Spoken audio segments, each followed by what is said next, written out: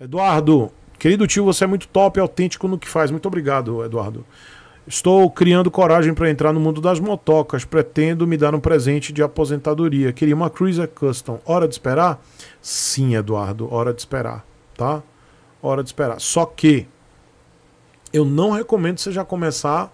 Se você não tem experiência com moto, não começa com moto de alta cilindrada. Entendeu, Eduardo? Senão você vai para esse lugar aqui, ó. Presta atenção.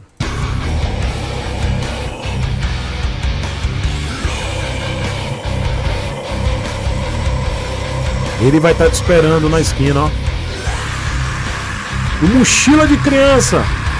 Entendeu, Eduardo? Presta atenção. Tem experiência não, filho? Vai se dar o presente de aposentadoria. Você pode já se aposentar e, e ir dessa pra pior. Então, minha sugestão: começa devagar. Entendeu?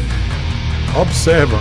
Que ele, o mochila de criança, o Satangoi já tá te esperando na esquina ali, ó. Vamos esperar Eduardo. Eita. Se aposentou e já vem por meus braços, hein? Ó. Ó, ele tá falando pra você, viu? Recadinho do coração pra você, Eduardo. Ó, mochila de criança, ó. Entendeu, filho?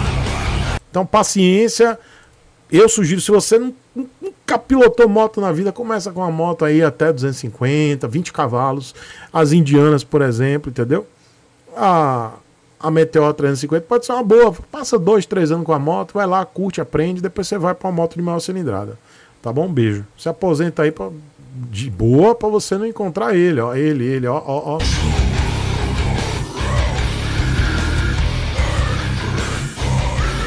Esse é o caminho mais rápido pro inferno de custom.